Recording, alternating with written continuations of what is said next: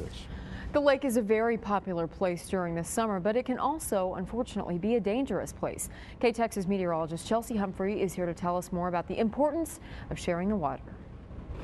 We've been fortunate in Texas to not see a very high number of jet ski accidents, but the unthinkable does happen.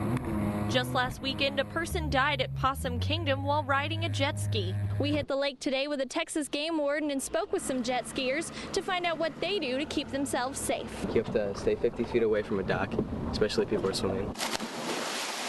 It's important for everyone hitting the water to understand these powerful machines.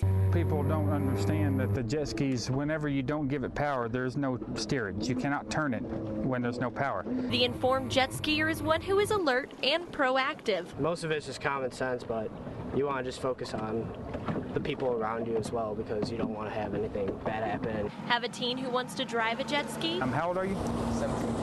Take some advice from these two. We did make our kids pass the Texas Boat Safety License Test when they turned 15 so that they would be responsible when they're out here.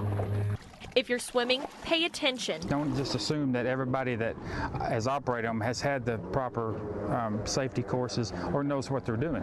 Whether you're on the jet ski or in the water, the most important thing to remember is just to be aware of your surroundings. Reporting from Possum Kingdom Lake, I'm KTXS meteorologist Chelsea Humphrey.